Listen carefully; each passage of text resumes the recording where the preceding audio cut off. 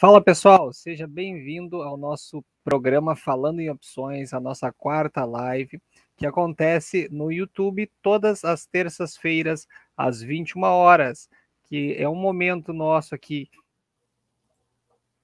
conteúdo para vocês, num formato novo, num formato que a gente vai estar trocando uma ideia, vai estar jogando um papo aberto, sem recomendação de nada, isso tudo somente reflete os nossos conceitos sobre anos de mercado operando, principalmente a parte de bolsa e de opções.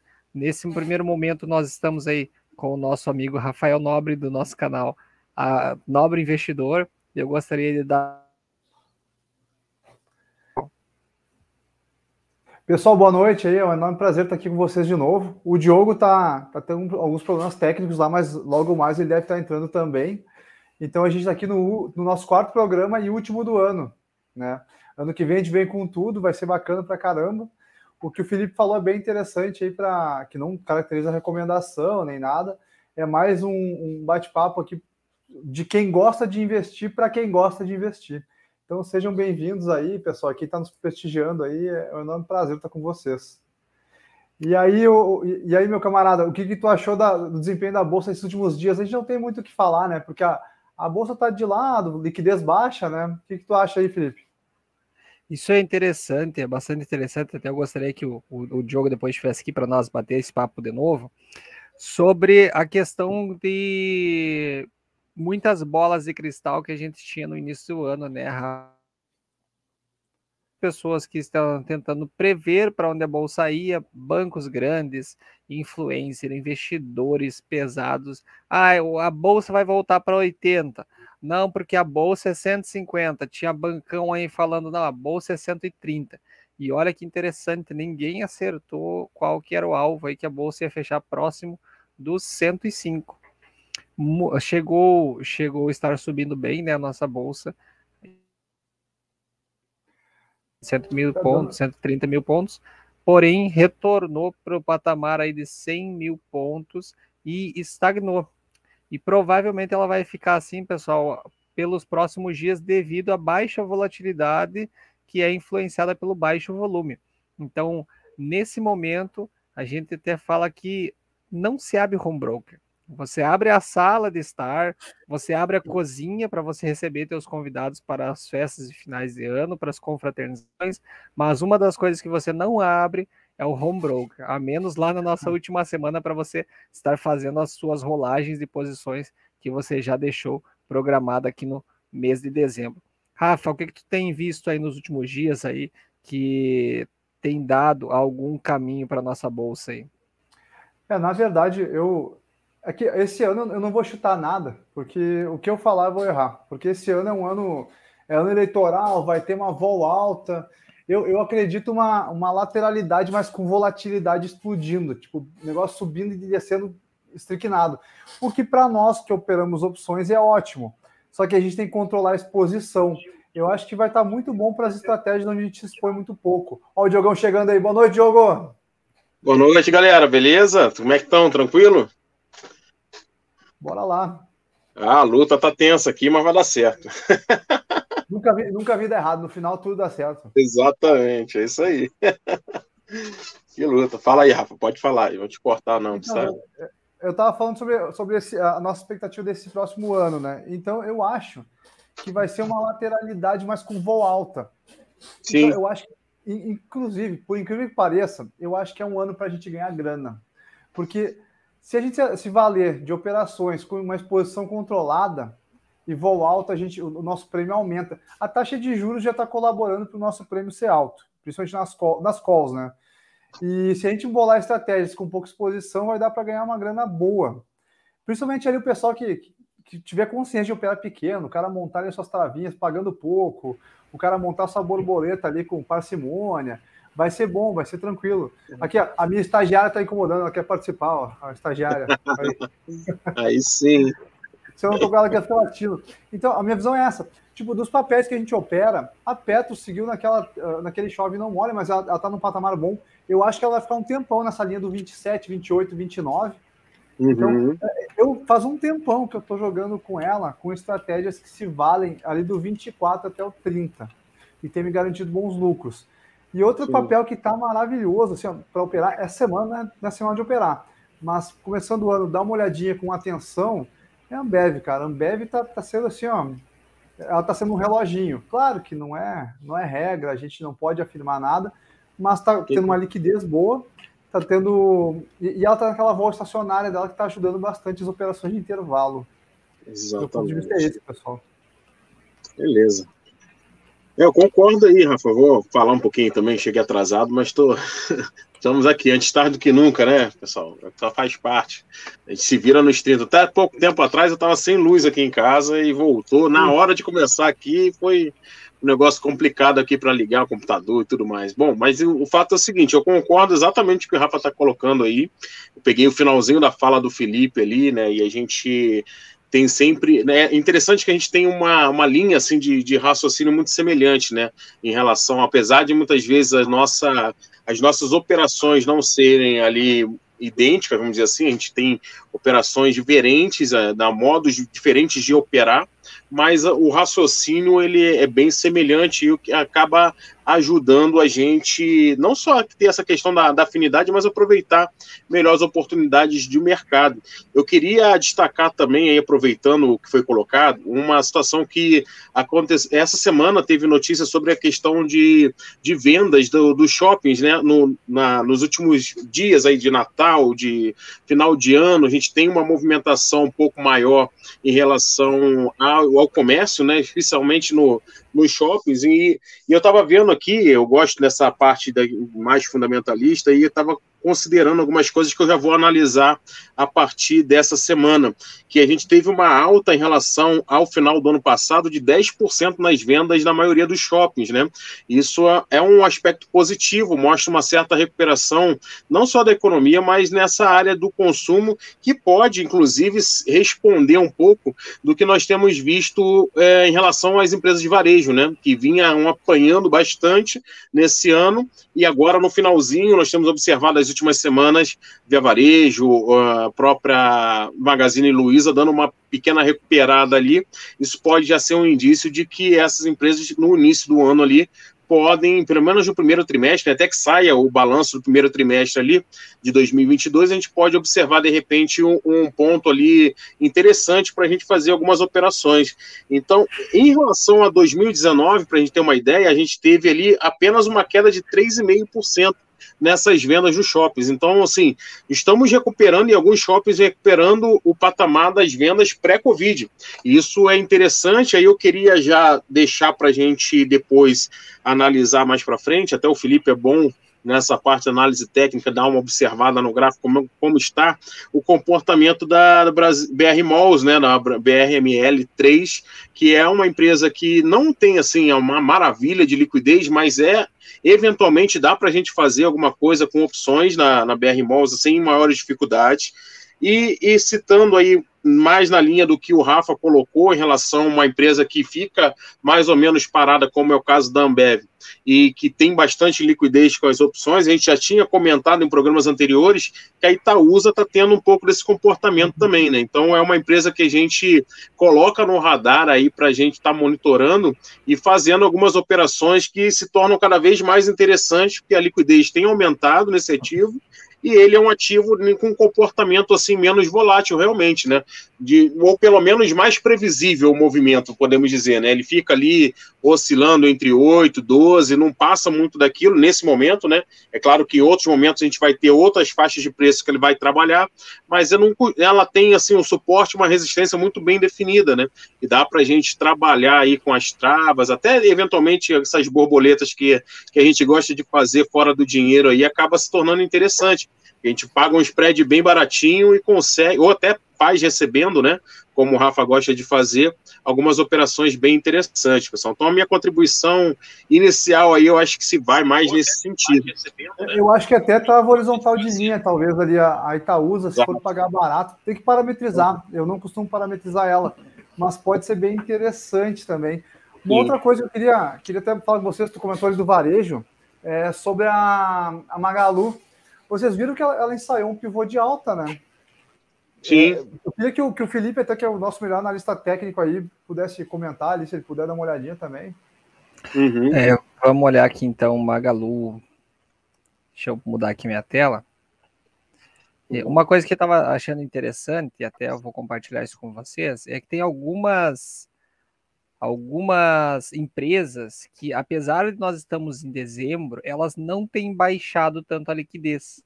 E vocês podem observar isso, eu coloquei aqui embaixo um indicador de volume, e a Magalu é uma. É, é, toda, todas essas empresas do varejo, assim como o Diogo falou antes, sobre a questão da BR Malls, a Magalu ela tem um bom volume ali nos últimos dias. Ela está numa situação gráfica legal. Eu, para mim, eu operaria ela depois que ela subisse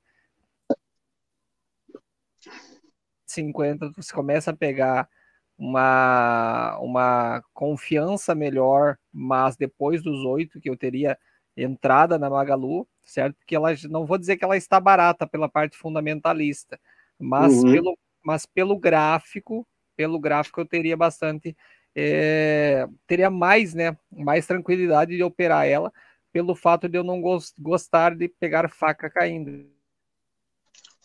Sim, sim, faz sentido. Notamos que esta linha aqui, ó, azul, azul, não sei se o pessoal consegue enxergar, mas ela tem sido uma forte resistência. Então, quando ela bate, ela volta, bate e volta. Aqui ela bateu e saiu uma boa resistência, chegou a subir a 25%, bateu e voltou. Agora ela está se, se ela está se, se indo, né, para essa própria linha novamente. Quando ela chegar nessa linha que depois vai ser próximo dos oito reais, que eu creio que ela faça um pullback, confiança para você operar e você está sendo a favor da tendência, ali, pelo menos da secundária, né? E sobre a BR Malls, que foi falado também, notem que o volume dela é praticamente o mesmo dos últimos, dos últimos tempos. Então, nós estamos vendo aqui que esses papéis eles não estão perdendo liquidez. Pelo contrário, eles estão continuando com a liquidez. E a BR Malls também, ela está numa situação aí bem interessante desde novembro. Ela está e me, quase a mesma coisa. A partir do R$ reais ali que ela tem uma resistência interessante, 8,50 eu também começaria a pensar em fazer algumas estruturas e fazer algumas operações na parte de shoppings. Lembrando, pessoal, teve várias, teve várias situações em questão que nós temos que levar em consideração, até depois o, o próprio jogo pode falar, sobre a. Ela subiu bastante, isso muda alguma, alguns tipos de operações na questão de shoppings e varejo certo? Uhum. Até nós temos vendo aí várias empresas grandes que estão se desfazendo dos seus imóveis e indo para o aluguel. Por que isso? Porque isso são, são movimentos que a pessoa recebe o capital, aloca em renda fixa e fica pagando aluguel. Certo? Nós podemos uhum. ver isso com a questão da Rede Globo. A Rede Globo é uma que é muitas vezes usuário uhum. de, de alguns FIIs e ela faz isso com bastante tranquilidade. Claro que ela está passando por momentos aí de dificuldade financeira, mas os gestores estão achando maneiras de sair, digamos assim, cortar despesas e gerar receitas, que é uma maneira bem inteligente quando se trata aí de, de, de aluguel. Isso aconteceu muito, pessoal, com o setor bancário, né? Recentemente a gente viu isso, as, os grandes bancos se desfazendo das agências, né? Era muito comum ter agência, tudo quanto é lugar, e própria até, né? Imóveis próprios, que representavam um custo absurdo. E com, a, com o crescimento das fintechs, esses novos bancos digitais que vêm oferecendo uma concorrência, trazendo uma concorrência um pouco mais pesada para esses bancos, né? Com custo zero, etc. E aí os caras tiveram que enxugar, mandaram muita gente embora e principalmente fizeram esse movimento que o Felipe está citando aí, se desfazer de, de ativos, né? É, é um movimento de tirar do imobilizado, né? Falando mais no, no aspecto contábil aí, né? Tirar esse, esse recurso do imobilizado, trazendo para o caixa, você consegue ter mais liquidez de fato com o teu ativo financeiro e trazendo maior rentabilidade para o portfólio como um todo, né? Eu acho que é um movimento interessante mesmo e é realmente um ponto de atenção, inclusive até para quem gosta, os fundos imobiliários, né? Tem muito fundo imobiliário fazendo, é, se beneficiando com isso, né? Porque se eles estão, têm imóveis ali para alugar para essas grandes empresas, naturalmente a vacância vai diminuindo desses fundos imobiliários e acaba gerando mais rentabilidade para os cotistas, né? Em forma de dividendo ali todos os meses. É, eu ia falar, eu ia falar, até tu mencionou bem, Diogo, porque os fundos imobiliários estão extremamente amassados.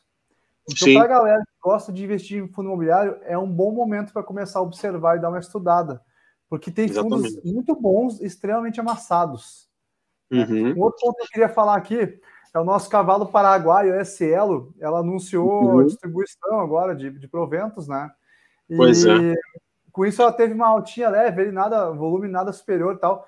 Mas o que é a visão de vocês? Até a gente falou também de Cogna. Hoje a gente conversou um pouco de, sobre Sim. Cogna, que saiu uma notícia lá. Eu acho que a parte de educação, eu acho que ela apoiou muito e eu imagino, ao meu ver, que ela tende a melhorar. Né? E sobre a Cielo antes, né, para eu não desvirtuar o assunto, ela vai pagar um pouquinho de provento e tal, mas é um ativo que vem sendo massacrado ao longo dos anos. Exatamente. 6% do PIB já passou por essa maquininha, só que eles não se reinventam nunca. Cara, honestamente, eu cheguei a pensar que essa ação ia virar pobre, honestamente. Embora a empresa seja gigante. Eu achei que ia Sim. fechar capital, sei lá. Eu nunca chutei Sim. isso. Mas, poxa, para um negócio tão grande, você não acha que tá, tá feio, né? Tá feio. Sim. E a concorrência também vem muito pesada, né? É, cada vez mais a rede, GetNet, agora que está também com, com ações listadas na Bolsa. Muitas empresas nessa, nessa, nessa área né, de, de máquinas aí estão crescendo cada vez mais. E aí não é que está roubando o mercado da, da Cielo, como o Rafa bem frisou aí, Cielo continua com uma share gigante, né? Dominando, de certa forma, o mercado, mas a, a, margem dela diminuiu assustadoramente, né? É o que acontece mais ou menos, a gente tem acompanhado o movimento também com a B3, né? A, a B3 é soberana, monopólio, a única bolsa, e aí o burburinho que começou a se falar que a XP está reunindo um grupo que vai fazer uma concorrência, uma nova bolsa, já foi suficiente para amassarem a B3 aí pesadamente, porque vai considerar que ele vai se deixar de ser um monopólio, as margens vão diminuir muito, e isso vai afetar naturalmente uh, o lucro da, da empresa, a projeção de lucro, a gente faz o, o valuation ali, levando a perpetuidade esse, esse lucro, né, e você vai ver um desconto enorme, e acaba o mercado antecipando, né, precificando já esses eventos aí. É bem, bem interessante a gente observar isso.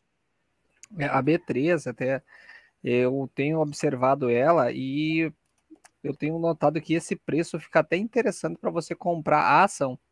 Eu creio que a precificação, num sentido fundamentalista, nesse preço que ela está hoje, já está quase uhum. precificado com ela uma.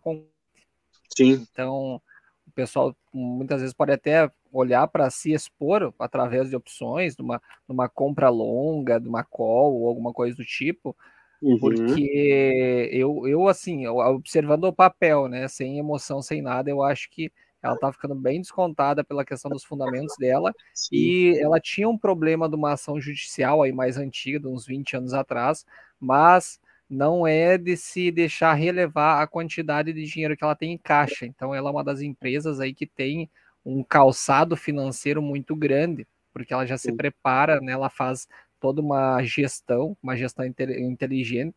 Ela adquire toda hora uh, empresas de banco de dados, de banco de dados, no sentido uhum. que faz a proteção, que se entrar uma outra nova bolsa, pode ser que cause um baque, sim, mas a B3 já está num bom, digamos sim. assim, caminho, que já faz lá desde lá pegou essa, a, a Bolsa de São Paulo e a Bolsa do Rio, né? Então ela já tem uhum. uma certa experiência. Então nós não podemos achar que vai chegar uma bolsa do nada e vai quebrar. É diferente sim, se a gente for pegar as, as histórias lá do, dos Estados Unidos, não foi assim do dia para a noite. Por isso que eu acho que sim. já está bem precificado. E para me dar contribuição também em relação a Cielo, nós podemos usar isso com relação aos bancos, é, com questão das fintechs. As fin... uhum.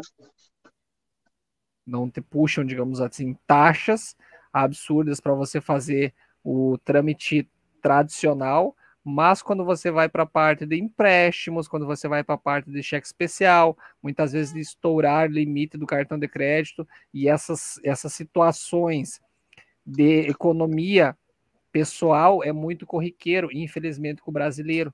E é nisso que as nossas fintechs ganham dinheiro. Se você for para tanto com isso.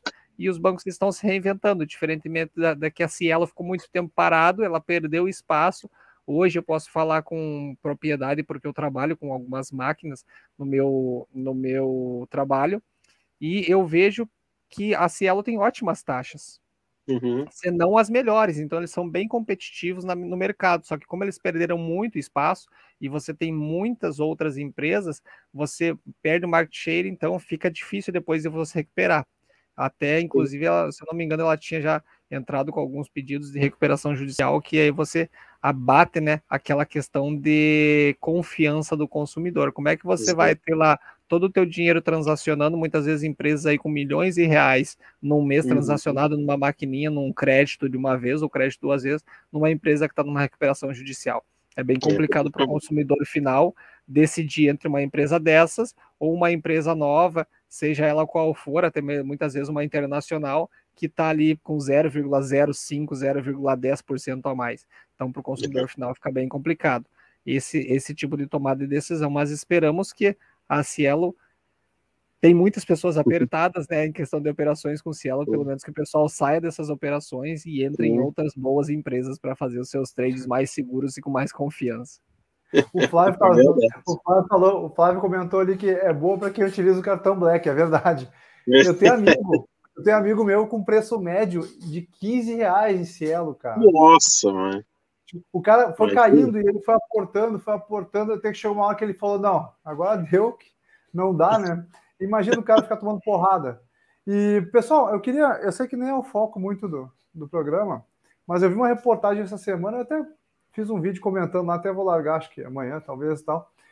Um camarada lá do Maranhão, o cara fez uma, teve uma ideia muito maneira, o cara bolou um projeto, tal, o cara tomou porrada no day trade, fez um monte de coisa. E aí o, o cara fez um projeto que ele aportava todo mês Isso. 100 reais em, em Bitcoin, para ele ver qual seria o resultado e tal. Eu quero deixar bem claro que eu não sou contra a cripto. Até esses dias a gente estava conversando, o, o Felipe estava tomando, ele está tá estudando bastante a parte da NTF e tal, beleza. Eu acho que o futuro é, o futuro é isso, é cripto. Só que o camarada dele foi aportando durante um ano e controlando. Aí eu até queria questionar vocês. Aí no final do ano o cara fez uma contabilidade e ele comemorou. E esse site que, que tem a matéria, se o pessoal quiser depois eu passo, ele comemorou que ele bateu a inflação. Aí eu fui ver quanto ele tinha lucrado no ano. Ele fez todo o ano 2021, é isso, 100 reais todo mês.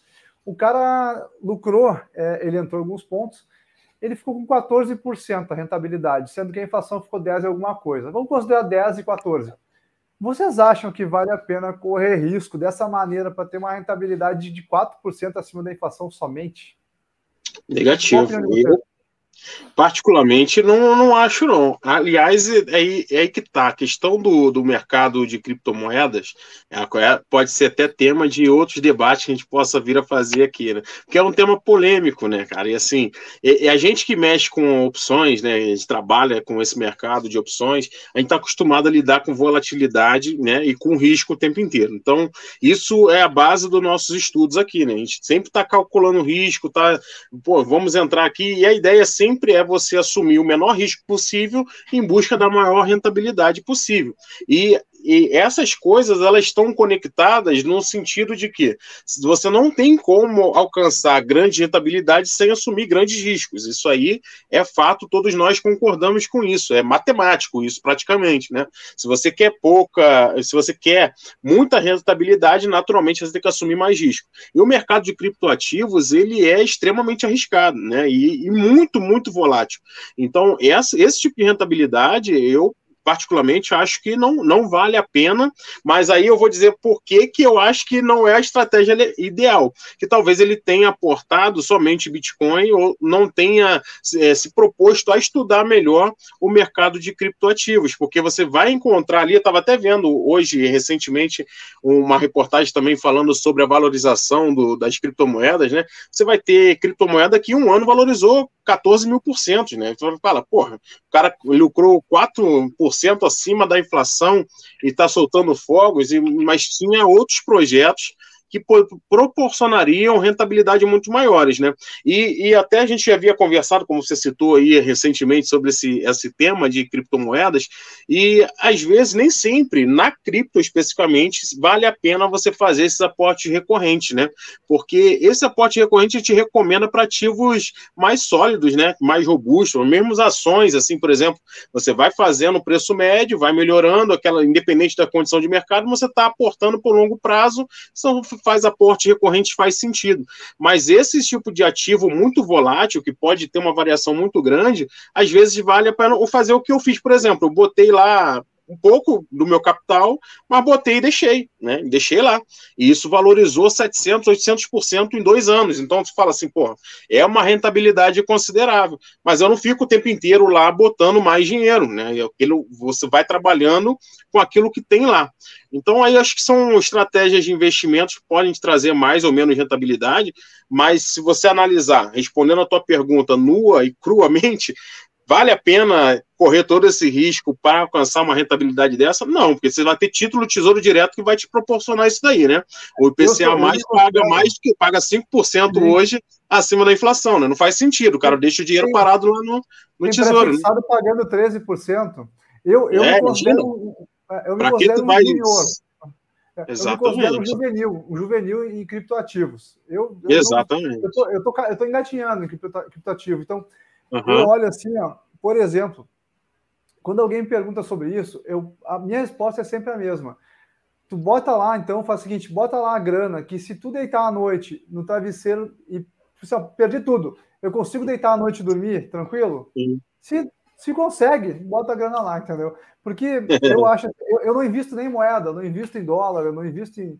Então, uhum. a, a, o criptoativo é uma moeda, ele é uma moeda. O que, que tu acha aí, Felipe? Eu acho que é, é, isso são, duas, são duas partes, né? Vamos, ser, vamos separar aqui, vamos fazer que nem, nem o pessoal, vamos por partes. É, primeira parte, eu acho que bate, bate numa uma tese de investimento muito difundida e para mim faz muito sentido que se chama diversificação. Uhum. Se você está exposto num mercado como o de criptomoedas, que você tem milhares, se não milhões de criptoativos, não tem por que você só aportar no e Bitcoin. O Bitcoin, Sim. tudo bem, ele é a mãe das moedas, mas você tem hoje criptomoedas como a Ethereum, tu tem a Solana, tu tem o Cardano, tu tem a Avalanche, tu tem a própria Dogecoin, tu tem, tu tem N moedas, então você pode e, e, e hoje a questão da diversidade, da diversidade de corretoras que você pode ir lá, você pode comprar 50 reais de uma moeda, 30 reais de outra, é como se tu estivesse comprando ações aqui no fracionário, né, na nossa bolsa.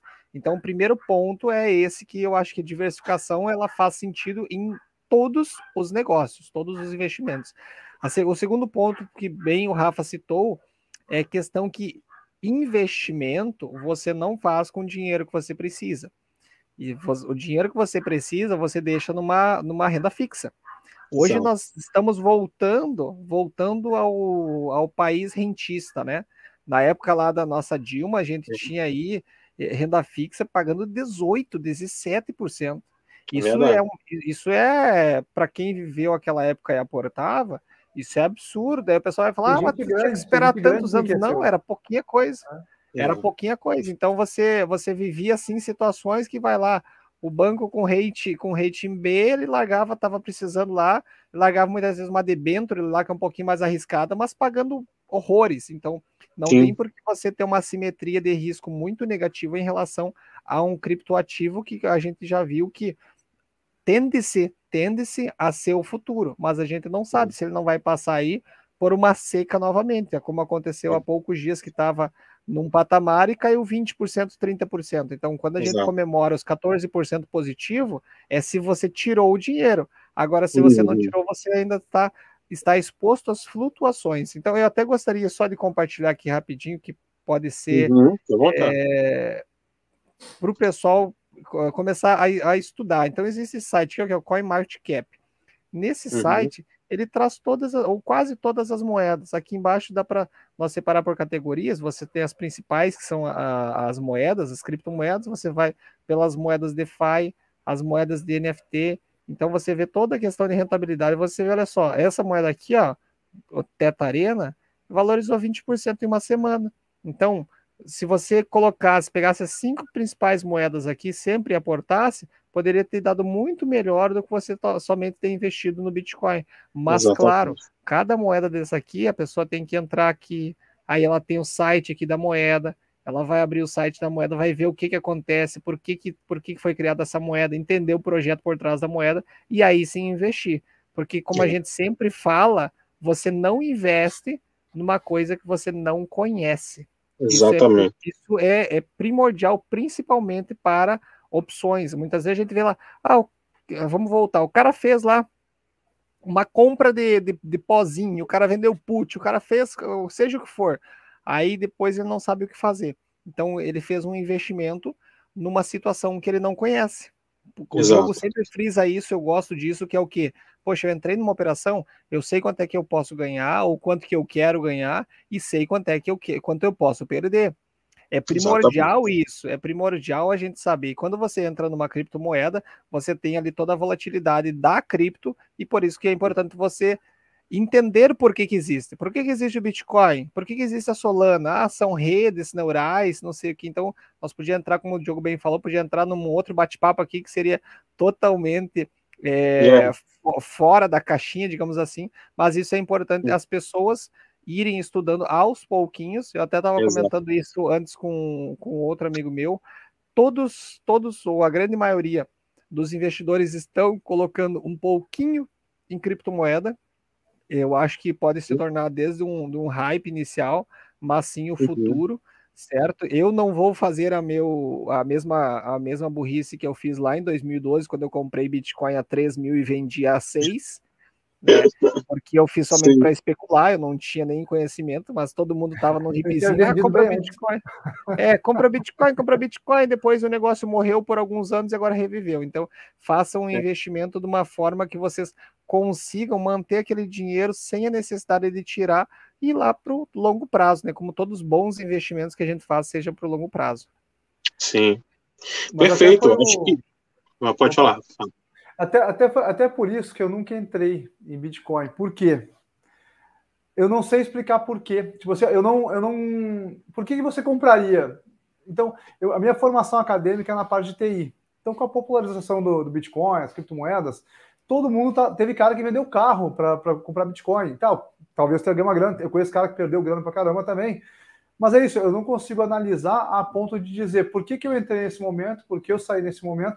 Então, eu não gosto, não me sinto à vontade de entrar em alguma coisa que eu não saiba responder essa pergunta. Até eu perguntava uhum. meus colegas, era motivo de debate isso, na, às vezes no, no intervalo, de por que, que você compra Bitcoin? Ah, porque vai subir. Mas por que vai subir?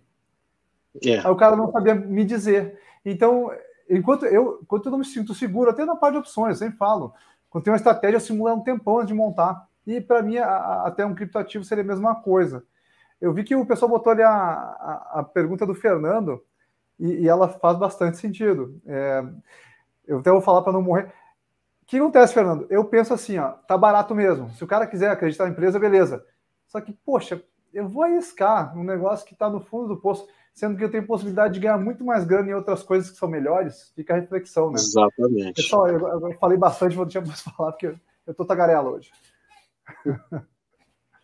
Eu, eu acho que isso que tu falou, Rafa, é, a gente pode, pode usar uma, não sei se é uma metáfora ou uma analogia sobre a questão de, de corrida de cavalos. Então você tem lá uma corrida, um cavalo que ele foi o melhor cavalo de toda, de toda a década anterior. Mas agora esse cavalo ele já ficou mais velho, ele uhum. ficou, ele tá debilitado, ele ainda corre, só que ele não está conseguindo dar conta do que? Dos cavalos mais novos. Então aqui vai a mesma, a mesma a pensamento que eu estava falando antes. Você pode diversificar. Não é porque tu vai pegar e vai apostar um grande valor num cavalo que já foi bom e isso se chama o quê? Paixonite por empresa. A gente não pode se apaixonar por empresa e não, eu vou tirar dinheiro daquilo. Geralmente a gente faz isso quando a gente perde dinheiro com aquela empresa. Então, ah, perdi dinheiro com Cielo. Não, agora Cielo me deve 50 é. mil reais eu tenho que tirar desse elo. Não, desapega. Isso a gente tem que aprender a desapegar da empresa e parte para outra, né? Então eu acho que são, são bem, é bem interessante. Você tem um ano eleitoral pela frente, como bem o Fernando Oliveira colocou ali. Cielo não é uma uma, uma, uma empresa que você tenha um valor absoluto de mercado, que você consiga fazer estratégias boas para você rentabilizar, não, e você não. tem aí N empresas que você pode ganhar. Então, às vezes não é que a empresa não esteja boa para você ganhar dinheiro, mas sim que há outras empresas que estão muito melhores. Né? Tem a Exatamente. próxima pergunta aqui do Danilo, vou deixar para vocês responderem. Quer falar? Quer falar, Diogo? Quais são as maiores, as estratégias mais interessantes para vocês nesse momento. Ah, antes de responder essa pergunta do Danilo, eu vou só complementar o que vocês falaram, que uhum. eu acho interessante a gente colocar um ponto aqui bem importante. Quando a gente fala do o ativo ele está mais barato, ele está caro, ele, a gente está falando sempre em, em, relação a alguma, alguma coisa, né? A gente está relativizando em relação a algum pensamento prévio. Ele pode estar tá mais barato em relação a um preço, a um patamar de preço passado, ele pode estar mais barato em relação ao seu valor patrimonial, ele pode estar mais barato em relação à expectativa de mercado. Então está sempre relacionado a alguma coisa. E quando a gente fala assim, ah, esse ativo está barato, e isso ele então é relativo realmente. Ele nunca está tão barato que não possa afundar mais, a não ser que ele esteja no zero, né? Daí não dá para ter valor negativo. Eita, desligou tudo aqui a minha a minha luz, ó. Agora volta. Não dá para ter valor negativo, né? Então a gente é, trabalha numa situação em que a gente não consegue identificar com clareza o fundo de uma operação, né? A gente nunca sabe quando vai ser o fundo daquilo ali. Aquilo tá muito barato, tá? O Magazine Luiza, quanta gente tentou achar que o fundo era 12 reais, era 10 reais, ela chegou a quase 5, 4 reais, né, praticamente, né? Então, assim, não tem como você taxar ali, não, isso aqui é o fundo, não vai cair mais do que isso. A Cielo tá 2,70 e tá relativamente barato, mas ela pode chegar a virar uma oi da vida lá e para 80 centavos, aí pode acontecer, não, nada impede que isso aconteça. Então tem que ter muito cuidado com isso, para a gente não cair naquele famoso viés de confirmação, né? Que a gente fica ali o tempo inteiro achando que não, isso aqui vai dar certo, isso aqui vai dar certo, como vocês falaram em relação a, ao ativo, ter um ativo entre aspas de estimação. Aí eu vou dar, pra, antes de passar a palavra para vocês, em relação a essa questão, vou dar minha, a minha opinião aqui em relação à a, a, pergunta do Danilo. É, o que, que eu acho que são as estratégias mais interessantes no momento? E eu vou falar de uma forma genérica e eu acredito que meus amigos vão concordar. Mercado de opções. Mercado de opções é a estratégia mais assim adequada para o momento. Não importa se agora, nesse momento, ou se no ano de eleição, ano que vem, que realmente vai ser um ano, aparentemente, até eu falei, né? Vai ser um ano das, das opções, efetivamente. Quem estiver aprendendo agora está saindo na frente, porque vai ser um ano onde a gente vai ter muita oportunidade de trabalhar com essas opções. E, e, então, as estratégias com opções, seja ela vendendo uma venda coberta, seja uma trava de alta, seja uma trava horizontal de linha, como o Rafa falou, ou até mesmo, de repente, compra seco mesmo, mais longa, para você se beneficiar de um movimento mais direcional. As estratégias com opções, elas acabam sendo mais assertivas, né? Eu, particularmente, estou montando algumas estratégias de compra de opções a seco mais longas um pouco, já pensando realmente no ano que vem em alguns movimentos mais direcionais, e tenho naturalmente algumas travas já montadas também, algumas borboletas, aí a gente vai debatendo ao longo do tempo. Mas eu, particularmente, acho que nesse momento, principalmente agora no final do ano, a gente já tem que ter algumas estratégias montadas com opções e é possível sim fazer boas compras a seco, efetivamente, mesmo que você não seja aí a, a, preferência da maioria aqui, mas eu acho que vale a pena posicionar em alguma coisa mais longa. Por exemplo, a Cogna, que o, o Rafa citou muito bem. Ano que vem é ano eleitoral. E a gente tem sempre essa dicotomia aí, Lula, Bolsonaro, pode ser qualquer outro. A gente não tem, como operador de mercado, a gente não tem político de estimação. Não importa quem é o camarada que vai assumir lá pode ser qualquer um, o Zé Mané, que chegar lá e vai. Porque, na real, todos eles vão ter que fazer a mesma coisa, não tem muito para onde fugir. Eles sambam conforme o Congresso de, permite que eles sambam. Então, não tem muito o que fazer. Eles vão tentar implantar uma política ali, mas depende de uma série de outros fatores para que aquilo possa realmente se concretizar.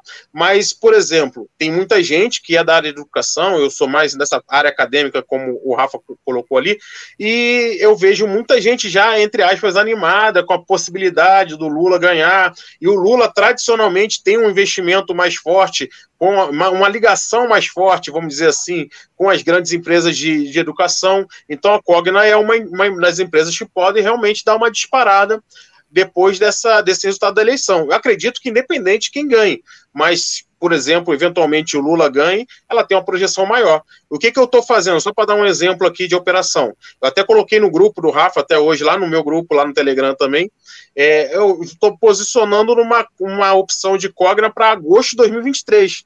Estou comprando a seco já faz tempo, meu preço médio já está em 28 centavos. Eu considero um preço justo, razoavelmente justo. Depois, se vocês quiserem, eu não consigo mostrar agora porque o computador está zicado aqui, estou pelo celular, mas é, é um strike de 4,50, tá? Para daqui a para agosto de 2023. Então a Cogna está aí beirando né, os 3 reais mais ou menos. Se quiser botar aí, Felipe, é a Cogna H 450 para agosto de 2023. Eu tô com ela aberta aqui também. O último negócio foi 33 centavos. É, então, eu estou comprando ela já há alguns meses, tento me posicionando nela, porque eu acredito que essa opção deve dar uma boa valorizada. queria até a opinião de vocês em relação a ela, porque se a Cogna, ninguém aqui duvida que a Cogna pode valorizar 100% em dois anos, né? Eu acho que ninguém duvida disso. Pode acontecer. Agora já não é mais dois anos, mas está próximo disso. Eu comecei a comprar em junho, julho do ano passado. E, então acho que tem a possibilidade dela chegar a 4,50 lá. Chegando, isso aí vai dar uma valorizada boa, né? Uma, uma, uma, possibilidade de rentabilidade muito boa. Deixa eu conectar aqui de novo a minha luz aqui que eu acho que eu acho que o trade mesmo vendo opções longas assim faz sentido até porque a, a curva de volatilidade ela está naquele backwardation, né? então as opções fora do dinheiro, elas estão, as longas, inclusive, elas estão baratas. No meu ponto de vista, até assim, ó, é complicado, Danilo, a gente falar é, qual estratégia mais interessante, tal, porque o mercado ele muda, ele muda o tempo todo. O, é. Tipo assim, o, o Felipe deve ter pego a época que a gente fazia aquela calendar butterfly, era correr para braço. O cara montava ela e era, tinha quase certeza de grana. Hoje em dia, se tu montar uma dessa, tu vai penar, não vale a pena. Até o ano, o ano retrasado, aquelas travas horizontais de linha perene, era ótimo de montar. Hoje, se o cara montar isso aí, o cara vai ficar mais fazendo manejo do que ganhando grana. Eu acho interessante o cara investir em estudo, porque assim, ó, o mercado muda. A gente tem que ter um carnivete suíço, um monte de ferramenta para usar nas horas oportunas, né? A gente estudar o mercado e estudar estratégias. Neste momento, eu estou operando bastante operações que envolvam put longa dentro do dinheiro, porque elas estão baratas, porque a é. taxa de juro faz elas ficar extremamente baratas. Mas aí a estratégia específica, tipo, é que envolve margem e tal. Uma coisa que dá para fazer, se a pessoa não se expor muito, seria aquela a, a, venda coberta que fala, de repente, não é indicação em nada, mas dá uma estudadinha cara comprar uma put longa dentro do dinheiro e vender uma put curta, ali onde você pode administrar e tal. Mas é isso. O mais importante é estudar e verificar, porque o mercado ele muda o tempo todo. O pessoal que tá, meus colegas estão um tempão aqui, cara, tem estratégia que era fabulosa e hoje a gente só sabe ela, mas eu sei que se eu montar é só para ficar tomando calor, entendeu? O que, que tu acha aí, Felipe? Tchê, uh, sobre o que o, o Diogo falou, para mim a questão eu concordo muito com ele, até nós, antes de nós estar entrando ao vivo aqui, nós estávamos comentando aí a qual que é a estratégia que eu estou fazendo. Eu disse, eu estou abrindo posições na sala de estar somente é. para o pessoal das, da festa, né? Porque tu abrir, abrir o home broker agora no final do ano é quase que loucura. Você tem que abrir sim, lá sim. em janeiro para você fazer as rolagens. Mas assim, ó, é, com volatilidade baixa, se torna interessante as compras. E eu vou complementar o que o Diogo falou sobre a questão política. Nós já, já, já temos burburinho falando sobre a questão do Lula é, perdoar as dívidas do FIES. Perdoando uhum. as dívidas do FIES, abrem-se novas vagas para o FIES. Sabemos que a Cogna, pela parte fundamentalista, ela caiu muito, haja vista as vagas do FIES terem caído. Então aqui nós vamos entrar numa parte mais, mais fundamentalista. Caso a, a, o PT, né, o Lula venha a ganhar as eleições, é quase certo que vai atacar grandemente essa parte educacional, e aí Sim. faz muito sentido a questão da Cogna se reerguer nesse sentido, porque ela já vai estar preparada pela, tanto pela parte EAD, que ela está se readaptando, Sim. assim como ela já tem um histórico na, na situação da parte de ensino superior pelo FIES. Então, é Exatamente. muito mais fácil uma empresa que está custando R$ 2,00, R$ 2,50 ir para 5 do que uma empresa que custa 30 e para 60. Então, isso se chama assimetria de risco. Agora, uhum. se você vai se expor nela da maneira correta, isso é o que o Rafa falou, é a questão do estudo. Antes até nós estava falando que eu, e eu concordei nesse sentido, apesar de eu não ser muito da parte de compras, uhum. mas, uhum. mas o que, que acontece? As compras estão baratas. Sim. E aí, como tu tem um ano de eleições, Vai passar agora janeiro, fevereiro, da quando voltar a volatilidade, a volatilidade dessas longas vai ter aumentado. Muitas Exatamente. vezes o ativo nem vai ter se movimentado para o alvo que você colocou, mas somente com a volatilidade você vai estar ganhando dinheiro. Eu acho que Exatamente. é o momento que você tem que observar quais são as ações que você quer ter em portfólio e aí você se posicionar da maneira mais correta possível. Eu já vou adiantar aqui a pergunta do Fernando Oliveira sobre a questão do Intelbras, que valorizou quase 100% em seis meses. Eu não tenho uhum. aqui no meu, no meu, celular agora, mas é até interessante. Quando a Intelbras ela fez o IPO, eu comentei num grupo de amigos sobre a questão de placas fotovoltaicas, sistema fotovoltaicos. A Intelbras é uma das únicas empresas que fabrica esse tipo de, de sistema, o resto vem tudo vem tudo importado. Exato. E só não fabrica essa parte de inversores ainda, pelo que eu estava sabendo. Quando ela fabricar os inversores, vai ser tudo colocado aqui do Brasil, vai ser uma maravilha. Então, ela é uma das únicas empresas que tem investido fortemente nisso. A VEG tem entrado sim, mas a VEG, o forte dela são motores. E a Intelbras é, também também, é verdade. E, e aí, só que a Intelbras, ela estava bem, digamos assim, desvalorizada. Por quê? Porque quando a gente precifica uma ação, a gente precifica como valor futuro. Para você precificar com valor futuro, você tem que entender pelo menos quais são os próximos passos das empresas. E há Sim. um ano atrás, a Intelbras não está, a Intelbras estava engatinhando na parte de, de, de, de, painéis fotovoltaicos e sistemas fotovoltaicos.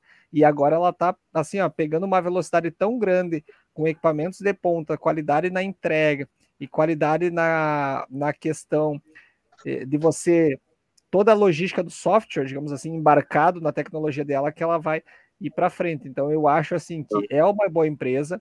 Eu não vou falar que no preço que ela está agora uhum. seja bom para entrar ou não, mas Sim. a parte fundamentalista, como eu tinha falado lá atrás, quando ela abriu o IPO, eu falei: olha só, essa empresa vai dar boa, porque tem todo o planejamento dela em função dos painéis fotovoltaicos, que para mim é uma questão muito muito assim, muito futurística, só que tá chegando assim com peso. Se a gente for ver lá para a Europa, pessoal, tu não consegue mais construir casa se você já não tiver um sistema fotovoltaico implementado. Então, aqui no Brasil, aqui no Brasil você vai tirar todas as, as, as os alvarás e tudo, você vai lá na prefeitura lá com a assinatura do engenheiro, com isso, aquilo e tal. Lá na Europa não, lá você já tem que estar com um projeto, senão a tua casa não é não é liberada para ser construída. Então, tomara que aqui no Brasil um, claro que nós temos uma situação aí de ser uma das maiores potências hídricas da questão de geração de energia, mas tomara que no Brasil cresça muito a questão de painéis fotovoltaicos e geração de energia solar. É. O Fernando comentou aí sobre a questão de IPOs, né? Até deve, acho na pergunta anterior a essa ali, e eu queria comentar alguma coisa em relação a isso. A gente tem que fugir como eu falei agora anteriormente, desse determinismo, né? Que é um pouco daquela questão que eu estava falando do viés de confirmação. É, o IPO ele é bom, é relativo, né? Porque da mesma forma como nós tivemos aí bons IPOs, né, e tivemos surpresas bem positivas, você teve também uma série de IPOs bem frustrantes, né? Principalmente nesse ano 2021, a maioria deles, alguns nem se concretizaram, nem realizaram, né? Muitas empresas retiraram o pedido de IPO até da bolsa, dadas as circunstâncias de mercado. Realmente estava difícil com toda a crise que a gente estava enfrentando, a economia realmente não aquecendo da maneira esperada, a gente tinha aí, eles, na verdade, as empresas acabaram percebendo que não iriam rentabilizar como se esperava com o IPO. E muitas desses IPOs foram feitos de uma, assim, a Bangu mal precificados, na minha opinião, do ponto de vista de valuation, né, uma, uma oferta muito acima do que realmente valeria a empresa, até se comparada com concorrentes que já estão no mercado né, de, de capitais há algum tempo, então tiveram empresas que, que abriram capital aí, eu acho que um pouco acima do, do, do que era para ser, e a gente viu assim resultados bem, alguns até ridículos, né, do ponto de vista de, de negócio, despencando muito, muita gente perdeu muito dinheiro com IPO. Eu até vou aproveitar esse gancho e perguntar a vocês. Eu, particularmente, não participo de IPO de, de, de empresa, acho muito arriscado, né? Eventualmente até fico tentado, confesso, mas eu prefiro esperar ver como que vai lançar, né? O cara lançou ali, botou a cara, a gente vai ver uma coisa nova. É aquilo que a gente estava falando sobre criptomoeda, né? A gente tem que investir naquilo que a gente conhece. De repente a empresa está chegando no mercado, de repente tem algumas que você já conhece, por exemplo, a Van, né? Uma empresa que está crescendo muito. A gente aqui na região sul até conhece mais, até, né? Porque veio veio daqui, a gente sabe como funciona, tem lojas expandindo cada vez mais, então a gente fica naquela expectativa, oh, essa empresa eu conheço, se ela for listada, a gente de repente pode até entrar no IPO, porque a gente já conhece mais ou menos a, a evolução desse mercado. Agora, de repente, vem uma empresa nova, vamos lançar aqui, vamos abrir o capital, tal. Ó, por exemplo, uma que eu esperava mais, e que para mim não me decepcionou do ponto de vista, até teve uma recuperação, mas me decepcionou a Local Web, né? Que era uma empresa de tecnologia que a gente esperava realmente que tivesse uma valorização ali, até teve uma, uma certa valorização, mas para mim abaixo do esperado. Para mim, o, se deve em função, em razão dessa precificação equivocada no, no IPO. Quer dizer, ela, ela estreou, bombou, né? no início e de repente foi descontada, foi descontada até o ponto em que realmente na minha percepção, ela realmente vale. Né? O mercado, ele, a gente não consegue enganar o mercado, ele precifica de fato o, o ativo naquilo que ele realmente entende como adequado. Né? O que, que vocês acham em relação a isso? Desculpa, eu só não entendi qual foi essa empresa que tu, que tu esperava mais. A, a Local Web que eu falei, a, a LWSA3. Sim. É, com relação ao IPO, acho que tu pontuou muito bem a questão de empresas que já estão no mercado conceituadas, porque a gente, assim como existe nas criptomoedas, muitos golpes de, de tudo que é tipo, nós temos agora as chamadas fintechs, são empresas Sim. que você abre no fundo de um quintal e a empresa tu faz girar um faturamento muitas vezes que não se sabe como, ou deu um boom no último ano e você vai lá e você quer fomento você não, não distribui debêntures por questões legais e você uhum. vai para a bolsa para você pegar um bom capital e depois é, fazer girar esse dinheiro. Então, a, a, a, precificação de fintechs é muito complicado. Mas por que, que o pessoal hypa nisso? Por que, que o pessoal fica empolgado? Porque o Facebook surgiu disso, porque o Google surgiu disso, a Microsoft foi uma das fintechs, eu acho que assim, que surgiu no fundo de garagem e o cara que comprou lá, digamos assim, tá tá rindo à toa, e aí o pessoal acha que sempre vai achar a próxima Microsoft. Só que assim, é, precificação de fintech só se vê com o passar do tempo.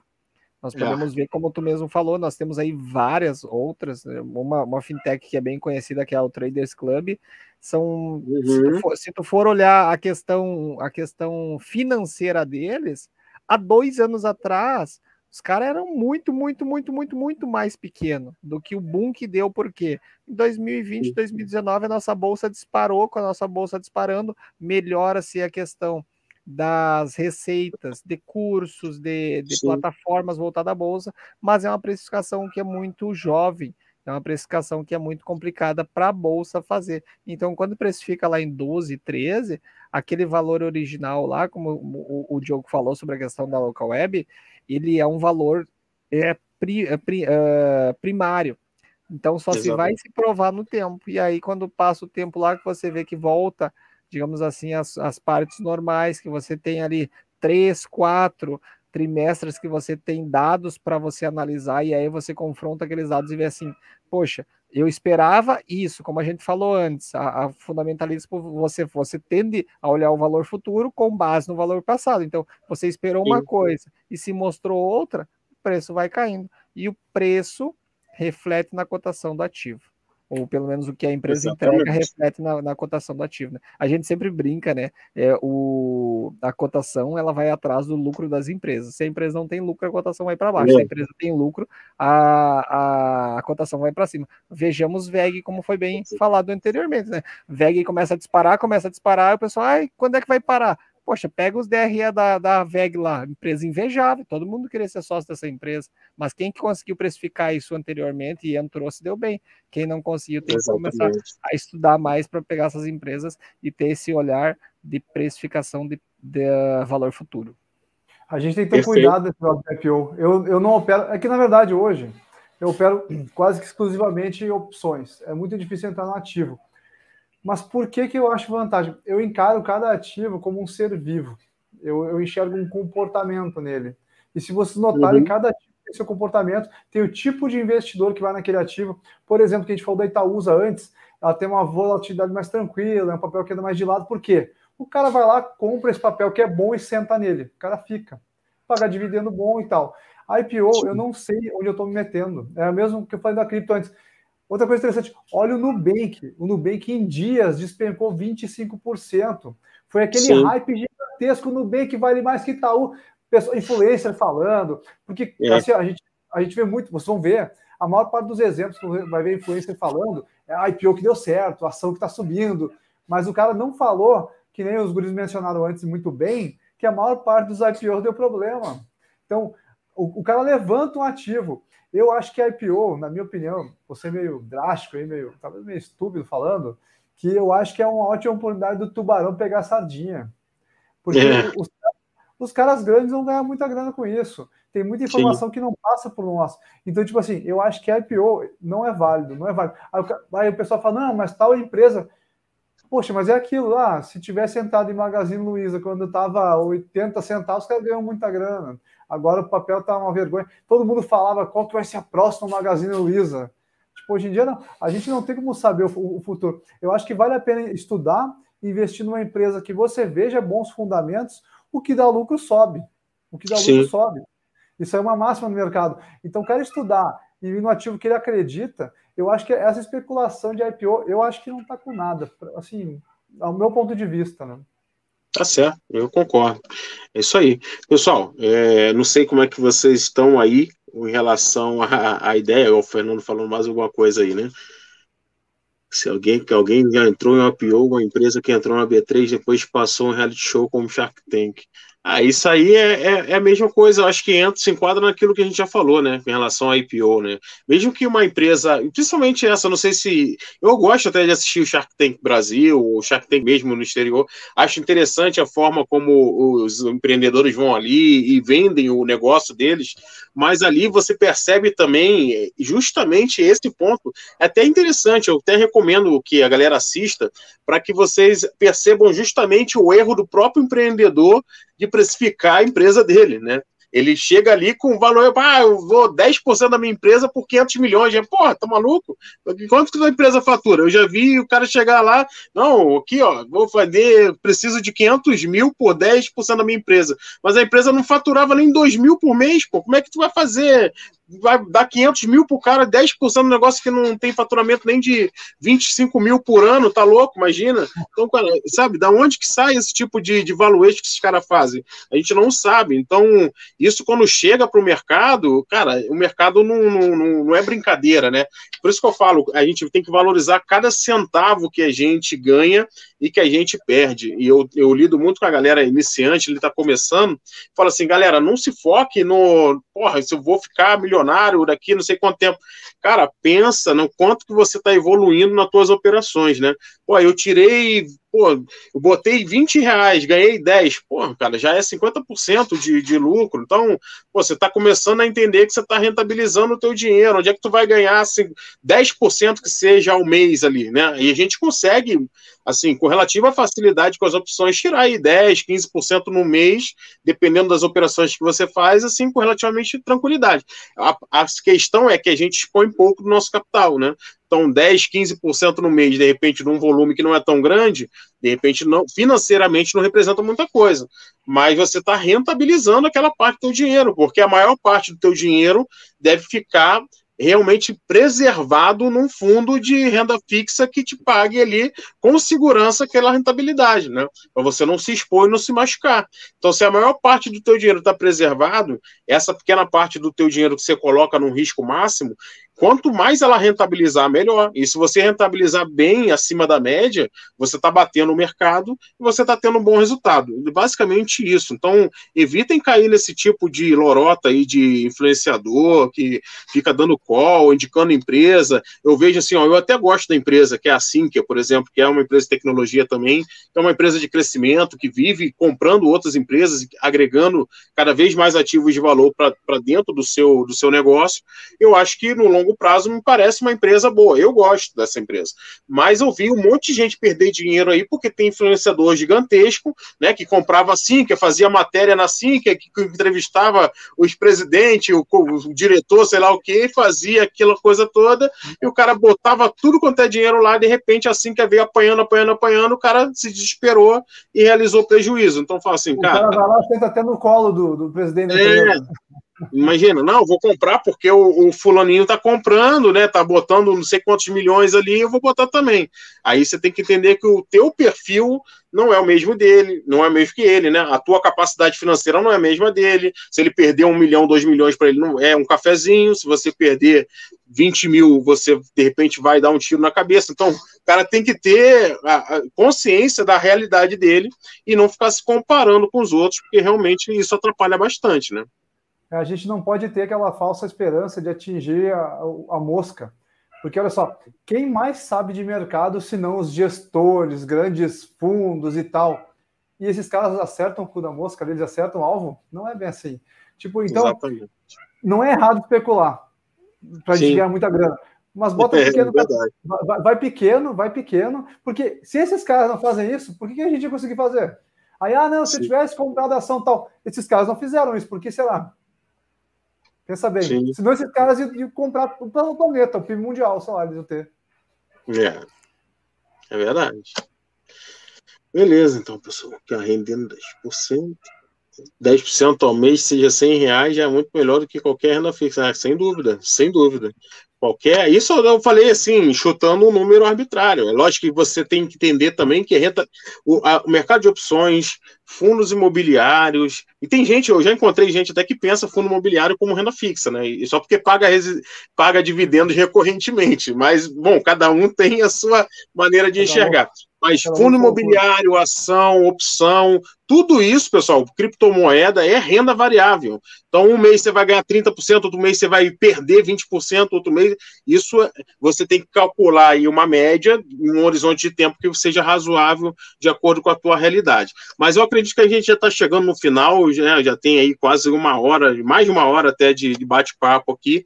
Nosso programa não, não tem a pretensão de ser tão extenso, né? A gente quer trocar ideia aqui, quer mostrar operações, a gente, mas a gente também quer trazer um bom papo para que você não fique cansado aí também, né? De, de ficar ouvindo essa galera aqui batendo papo, cornetando. Pessoal, a gente não vai parar, né, pessoal? O, o programa, semana que vem nós teremos mais aí agora no canal do Rafa. É bom lembrar que a gente reveza os canais aqui da gente, né? Uma semana no canal de um para que todo mundo possa acompanhar o conteúdo de todos nós, né? Porque a gente tem maneiras diferentes de abordar, já perceberam que cada um tem uma, né? Apesar de ser um pouco parecido, assim, vamos dizer assim, na essência nós somos iguais, mas cada um tem a sua peculiaridade, o que torna até mais interessante esse programa, esse bate-papo. Então eu vou pedir aqui, já fazendo a minha, né, com a permissão dos meus amigos aqui, esse minha, minha vou dar a exposição final, né? Vou dar minha despedida aqui. Vou pedir para que sigam aí, uh, aí o meu perfil no Falando em Finanças Oficial lá no Instagram que é, consumam o conteúdo lá e compartilhem se vocês acham que de fato está ajudando vocês lá. O meu canal aqui falando em finanças também no YouTube. Eu vou também, já estou aqui mais uma vez, amanhã eu vou estar tá anunciando ali o cronograma de aulas que eu vou dar, pessoal, eu não tinha comentado com vocês ainda 100%, comentei por alto, mas na primeira semana de janeiro eu queria dar um presente aí para os nossos seguidores, aí para a galera que tem acompanhado nosso trabalho, eu vou dar uma semana basicamente de aulas grátis ali. Eu vou estou vendo ainda se vou fazer pelo YouTube ou pelo Zoom, mas eu vou reunir a galera aí que tiver interesse em aprender mais sobre opções, e não só sobre opções, falar sobre investimento, fundo imobiliário também, questão de, de imposto de renda. Eu vou tentar fazer um cronograma bacana, amanhã eu vou estar divulgando isso nas minhas redes. Então, quem tiver interesse e quiser acompanhar lá, vai ter informações no meu Instagram já amanhã, acompanha lá, para participar dessa maratona, vamos dizer assim, de, de sobre investimentos. Eu acho que é bem importante para a gente se preparar para o ano de 2022 de maneira adequada e aproveitar bem as oportunidades, beleza, galera? Então, muito obrigado aí por, por, por essa resenha aqui com meus amigos. Um abraço grande para todos vocês. Uma ótima noite aí, pessoal. Bom, pessoal, queria agradecer também, aproveitando o gancho também aí Fernando, obrigado aí, cara, pela presença de todo mundo que está assistindo. Esse evento, as aulas aí do, do Diogo, cara, não perde. Eu não vou perder, não. Porque isso aí, isso aí de graça, assim, de barbada, olha, o cara transborda conhecimento. Eu queria pedir pro pessoal também me seguir nas redes sociais ali, um, arroba um novo investidor no Instagram, onde eu posto diariamente ali dicas, estratégias, até eu tenho todo um curso básico ali na minha playlist, seja do YouTube ou do Instagram. Se a pessoa for ver a playlist dos vídeos ali, tem um curso básico de opções ali tem um material muito bacana e que se o cara estudar e se empenhar, ele consegue ganhar uma grana já. E o conteúdo está tudo uhum. gratuito e disponível ali. Pessoal, no mais, eu desejo um ótimo ano novo, as festas aí para vocês, para os seus familiares, que esse ano seja um ano repleto de alegrias e felicidades e conquistas e dinheiro no nosso bolso, que todos Isso. nós possamos ganhar, porque olha, a gente é pequeno, pessoal, então vamos só surfar com os tubarões, a gente vai lá e ganha uma Sim. grana junto. Diz, e olha, meu desejo para vocês é muita grana no bolso e muita saúde. Restante Amém. a gente corre atrás e, e, é isso aí mesmo. Muito obrigado por tudo. Eu agradeço é. muito pelo engajamento que a gente teve esse ano. Esse projeto aqui está começando, mas é um projeto muito bacana. A gente, eu, eu ouso dizer que a gente está engatinhando e aprendendo todo dia. Então, Exatamente. muito obrigado mesmo. Vocês fazem uma diferença enorme. Se não é o engajamento de vocês, a gente não vai motivar, não vai. Então, pessoal, obrigado mesmo de coração. Vocês são feras. Show, pessoal. Eu primeiro quero começar agradecendo aqui por, por esse ano que a gente teve, né, 2021. Apesar de todos os pesares, todo mundo tem lutas e nós nunca vamos deixar de ter lutas e aflições, mas até aqui Deus nos ajudou e com certeza vai estar nos ajudando aí para 2022 muito mais do que tem ajudado esse ano. Então eu desejo que o pessoal tenha bastante saúde, bastante felicidade, bastante comunhão com seus familiares e que se prendam nessa parte financeira, pessoal, principalmente não em ir em dicas, mas sim em estudar. Quando você estuda, você começa a caminhar com seus próprios passos e você não precisa estar sendo levado pela mão por outras pessoas. No mais, eu faço o mesmo gancho que o pessoal fez. Sigam todos nós aqui. Não, isso na verdade não é nem tanto um pedido, mas sim é uma forma de vocês estarem começando a estudar de forma gratuita. Assim como o Diogo falou, cada um tem a sua metodologia, um pouco mais avançada, um pouco mais prático, um pouco mais básico, mas com certeza do que vocês conseguirem absorver, vocês vão chegar mais longe nos investimentos de vocês. A gente se despede aqui, esse é o programa Falando em Finança, que está na sua quarta, na sua quarta edição, e até a próxima terça-feira. Até mais, pessoal! Valeu, galera. Feliz ano novo. Tudo de bom.